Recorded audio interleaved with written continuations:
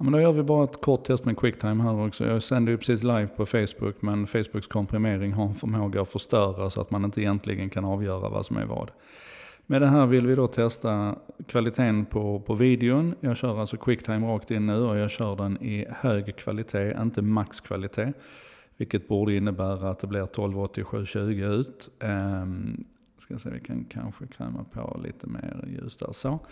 Eh, och sen så är det standardinställningar på, på mick och allting. Eh, och inga konstigheter förutom då att det fortfarande är ett väldigt eket rum.